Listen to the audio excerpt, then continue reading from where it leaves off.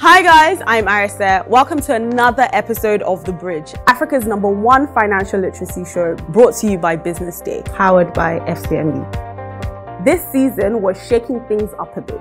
We're going to be interviewing millennial business leaders and celebrities and talking to them about the business models and financial decisions behind their successful brand.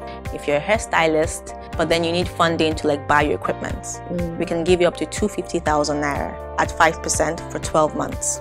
So, what's the money win that you've had? I save a percentage of my income okay. on building my network, on, on my network. We try to always step up our production and quality capabilities. Mm. And that's one thing I'm always very, very you know, specific about. There are times when you cannot afford a balance. You have to take a position. I probably don't have mm. Yahoo Boy money. But what I have in my bank account, I'm content with. Mm. Like, it's not bad. if you made a billion naira, how would you spend it? How would you invest it? Maybe I would invest in like a fractional private jet. I don't consider one billion naira as a hammer because it's just like three million dollars.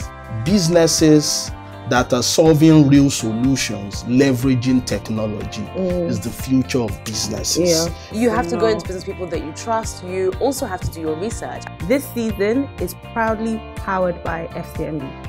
With the right people who believe in your visions, getting to your desired destination is easier and quicker. Let's help you take the next step. FCMB, my bank and I.